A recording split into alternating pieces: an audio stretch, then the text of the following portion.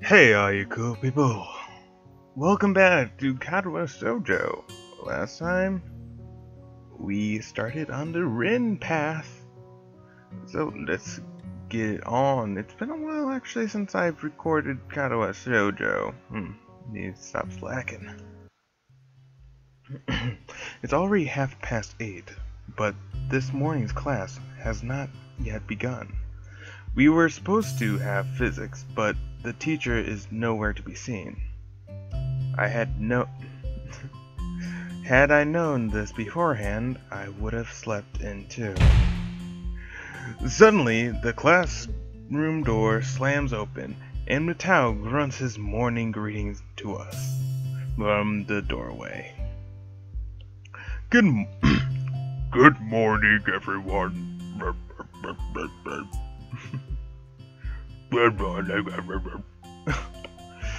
Man, I forget everybody's voice, so I end up, you know, making new ones, or at least trying to do similar ones. That was nowhere, nowhere like what the voice I used last time. Matao looks like he has not slept at all. The stumble, uh, the stubble, stumble, wow. The stubble is messier than normal hair, and the stained dress shirt create a less than favorable impression. I guess he had fun last night at the festival too. Ex- excuse my being late. Excuse my being late. Okay. I ran into unexpected problems. I'm usually not one for festivals like this, but I hope you all had a good time. After all, these sorts of events are important for for you all since they give you a short reprieve from schoolwork. The class. Hmm. The class replies with various degrees of enthusiasm, and Matao proceeds to take roll and get started. Right then, today's subject is photon particle physics. Ooh, photons, those are cool. Light and shit. Before long, I have descended into a comfortable coma-like state along with the rest of the class. Letting Matao ramble speeches that pass through one ear and exit the other without leaving a trace. Now, who could tell us the solution to this problem? He's written a rather easy equation on the blackboard desperately tries to get the class to participate. Nobody? Come on, guys. Nakai, how about you? Unfairly singled out and cornered. I give him an answer.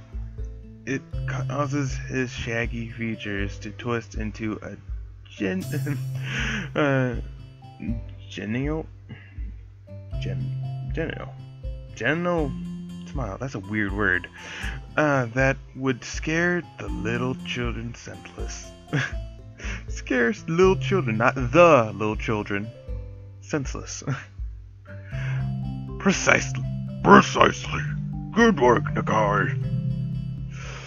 I'm both disturbed and honored by the fact that he can remember my name.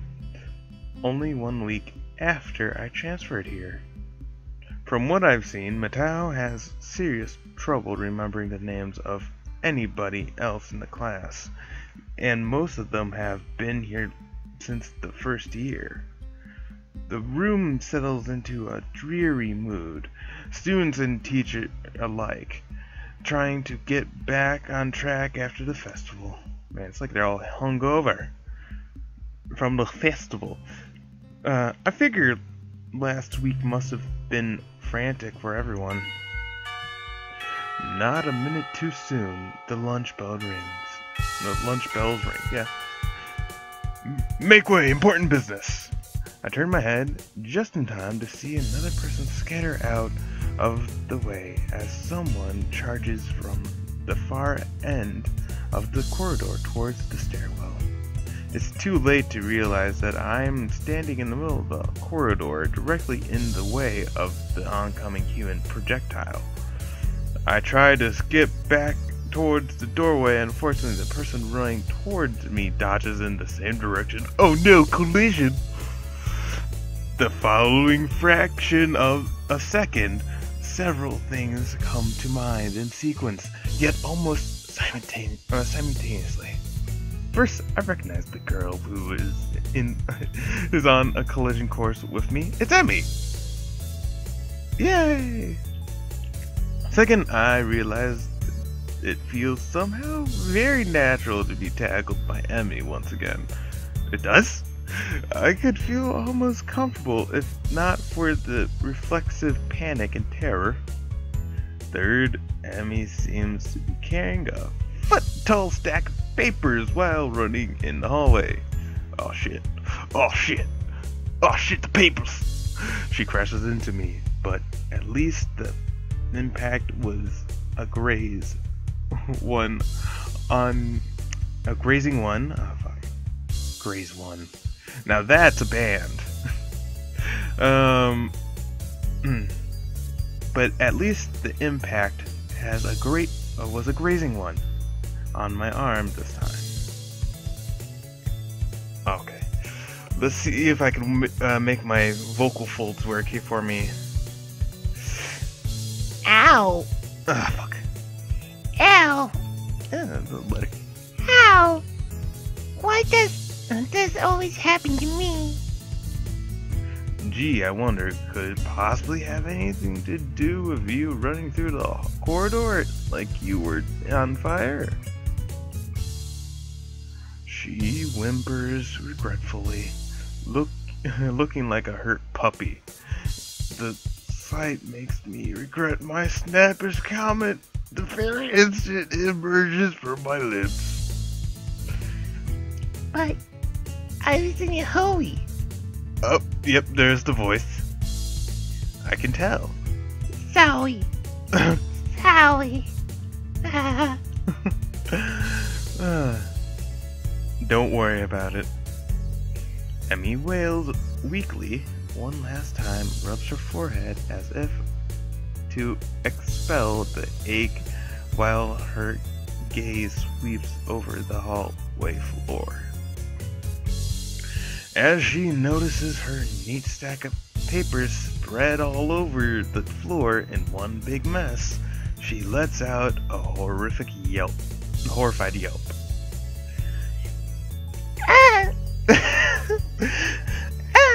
Printouts. Oh no, oh no. What am I going to do? Teacher will give me hell if I don't, if they get dirty. They're probably fine. Let's gather them up, back up. It won't be a problem.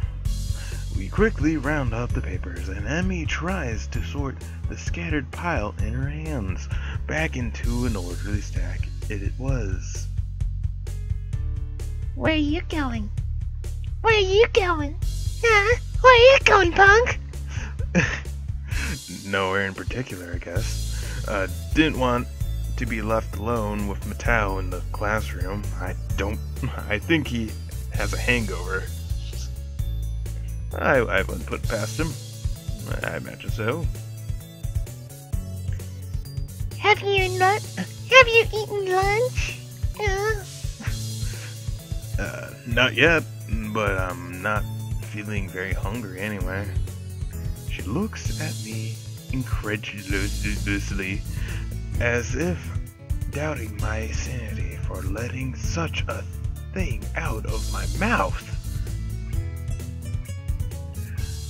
you should go to the roof. I promised Rin I would eat lunch with her. I bet she'd like the company. Like me, fuck.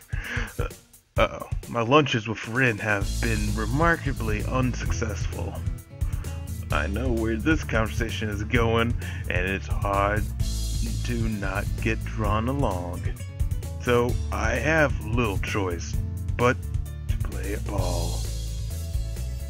we're joining the baseball team. Awesome. That'd be interesting if there was a baseball segment to this, you know. Now, how Rin would be able to play baseball is another question altogether. Actually, that she wouldn't be able to, actually, so. Answer found! Yeah. Anyway, okay, I'll go pick up some bread or some. Uh, I'll go pick up some bread or something first. Emi smiles brightly before I say anything further. No, no. I'll, I'll keep, I'll go, uh, I'll go and deliver these super quick, and then go buy lunch for us, and Rin too. Eh, Of course. What kind of bread do you like? Eh, it's fine. You really don't need to. Don't worry. It's alright. Consider it an apology. I'll be right. I'll be back before you know it. Oh my god. You know, remember Misha's voice? How that hurt me? This hurts a lot. Doing that voice. uh, whatever. That's what I'm worried about. Don't get into another accident. Emi starts walking down the hall, but since she's still talking to me, she isn't watching where she's going. I won't. I won't. I won't. I won't. Yeah. I also have when I'm doing that voice, I have to like put my cheeks in a weird position, like kind of like almost like a pout, like the in inside of my cheeks. Yeah. Anyway, famous last words. She's already jogging down the stairs as she shouts that not a not a reassu- not so reassuring promise back to me. Sighing quietly, I start plot, plodding along her, along in her wake. But instead of taking the stairs down, I climb upwards. The stairwell up to the roof is unlit and just as creepy as it was before. The door squeaks weakly in protest as I push it open. Ooh. Rin is there too, like Emi said, lying on her back at the other end of the pebble covered rooftop for some reason. Predicting something unnecessarily strange again, I walk to her as slowly as possible. Yo, what's up, gal? Hello. Oh, wow. Yeah, that's her voice. Hello. How are you? That's great. she sounds very drowsy as she says that, scratching the end of the word with a slur with a slurred voice. Despite that her eyes are wide open. I look down at her, my shadow overlapping her face. What are you doing? Rin rises an uh, raises an eyebrow. I. I thought you had a heart problem, not an eye problem. Damn. Just fucking calling you out, Estelle. Fighter. uh, anyway, she answers, challenging the rationale of my perfectly valid question without even tilting her head to look at me. Rin's smartass comments are infuriating. The worst thing is that I'm not sure if she's doing it on purpose or not. Alright then, let me rephrase. Why are you lying on your back on the rooftop? Ah, she gives a lazy shrug and sniffs dismissively. Dismissively. Hmm. I'm. I'm trying to experience. I'm trying to experience people probably don't do this enough. What exactly are you trying to experience here? I can't really tell, but there's probably a reason people don't do whatever. She's playing dodgeball with me again, answering my attempt at small talk with riddles. I don't want to puzzle out. but I don't want to ignore her either. Yeah, but the reason is that everyone is too busy with their lives to pay attention to the really important things. Like watching the sky. She hurt. She tears her gaze away from the sky and finally looks straight at me. The per- penetrating deepness of her eyes, once she focuses them on something, is startling. You know, if you were a girl, I could see your panties. oh, that's a weird thing to say to anybody. Ever. If I were a girl, I wouldn't come. I wouldn't come this close to anyone who, who, who tried to sneak a peek at my panties. Boy, that is a, that's something weird to say.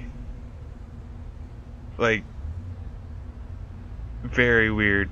Anyway, I have that much common sense. I wouldn't either, but sometimes it can't be avoided. Like how, like now, for example. To tell you the truth, I don't even really want to. I want to peek at your panties. Underpants are the soul of a girl. You shouldn't peek at someone else's soul, even if you're not a girl. As a guy, I guess I can understand that. To us, they're some sort of half mythical object that we can't quite comprehend. Man, that's pro- that can be a new History Channel show. On the hunt for panties. Hello. We're trying to find the mythical panties. It said that females of our race wear them. But no man has ever seen them before. We're here at Target in the ladies section. We heard this is the meeting ground of panties. Anyway, I'm going way too far if that's get. Let's continue. Mm. Yeah. Yeah, and that's exactly how I think about them too. What a coincidence. It really is. So, did you have did you have world history in the morning class? I skipped class. To do this? Well, I'm not ex- actually doing what it looks like I'm doing. Or at least I think that's what I'm doing doesn't look like what I look like, but from your perspective. That was a tongue twister and a half. I'm surprised that I came out with as many errors as I did. Probably. yeah, I skipped class to do this. I guess whatever your reason is, it's uh, as good as any. Giving in to the tired feeling in my legs, I sit down on the roof next to Rin. The pebbles are not the most comfortable bed in the world, but if she can stand it, then I should be able to, to as well. Uh, what are you waiting for? Hmm? Try it. I bend my neck backwards to take a look where she is looking.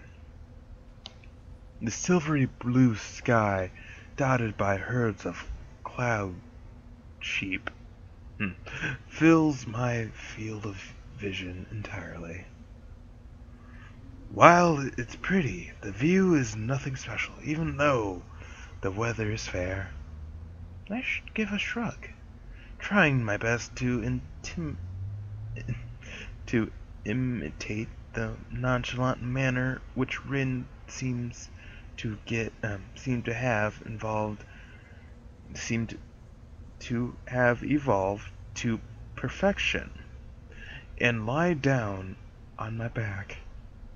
The stones poke at my back through my thin shirt whenever I shift my weight even a little, forcing me to keep as still as possible. I try to ignore the discomfort in myself, instead concentrating on the vastness over us. Far above, the summer clouds drift soundlessly across the dome of the sky. Neither of us has uh, anything more to say. The silence covers the rooftop. The subdued noises of students on their lunch break, nods in the trees and traffic buzzing past the school are humming pleasantly somewhere in the background. Listen, I have a great. Listen, I had a great time yesterday. Did you? Did you? Did you? Did you? Did you? There you go. Well, to be honest, no, but it was alright. It was probably the longest time I ever sat in one place without doing anything, which is kinda impressive. I try to make it sound as convincing as possible. Is it really that impressive? I think it is. I'm usually too restless to do anything like that. I think I I had a good time too. A cloud passes above us, casting its shadow on the school. A chill surges through me from the sudden change of sunlight to shade. I realize that summer is not in its full bloom quite yet. The only measure of time passing is the slow pace of the clouds moving towards the town. The stray beams of golden sunlight leak through the gaps, blinding me for a moment whenever they hit me directly in the eyes. The blue sky looks so unreachable. This reminds me of the time I spent in the hospital where I was bored out of my mind on a daily basis. Somehow I didn't it didn't matter after a while. I learned to appro- um, appreciate other things besides watching TV and gossiping with people I didn't even like. A comprehensive sensation of calmness spreads from my sight to my other senses, finally hitting my brain. An airplane zooms by, leaving two thin contrails in its wake, like a pair of chalk lines drawn from one end of the sky to the other. I wonder where it is heading to. The low din of its engines carries all the way down to my ears, although it's barely audible over the racket from the quad. It's nice. Oh, and I could do a better voice than that. It's nice. It's nice. There, I guess. It's nice, but I don't understand why this is more important than going to class. Isn't it isn't it good to do something like you like every once in a while? Of course, but What are you doing? Nemi has snuck up on us without either either noticing and is only a step away from me, holding several packages wrapped in plastic film in her arms. She leans forward and peeks over me, overshadowing my face, almost exactly the way, same way I overshadowed. Uh, fuck. Uh, same way I overshadowed Rin before. I wonder how weird this looks. The two of us lying on our backs on the rooftop. Mm, that's what I asked too. I would be more concerned about what you're doing if I were you. I wouldn't come that close to people who were who could see your panties. oh, you fucking serious? Hmm. Rin! Emi's voice in a scandalized but she quickly takes a step backward, pressing her hands against the front of her skirt so abruptly that the parcels of bread she was carrying fall.